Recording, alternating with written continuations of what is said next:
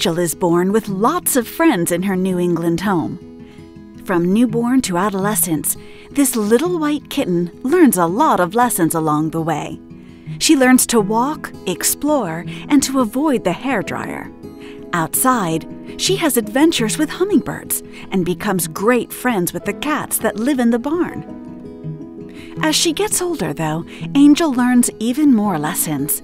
One's about friendship, bravery, and self confidence.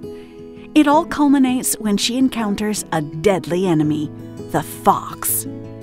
The Adventures of Angel is a heartwarming story about the challenges faced while growing up, all while getting comfortable in the world all around you.